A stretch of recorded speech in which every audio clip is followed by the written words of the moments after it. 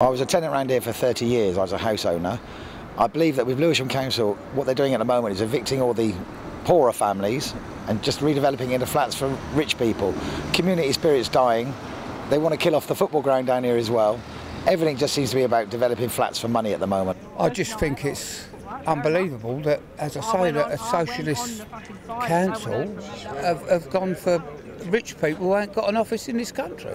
I think it's a good idea. It's a good idea for the area and it's a good idea for the accommodation in the area.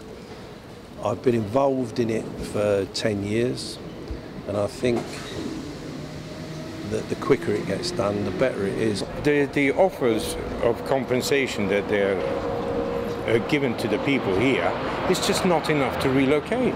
It's, it's not possible. It's way below market value.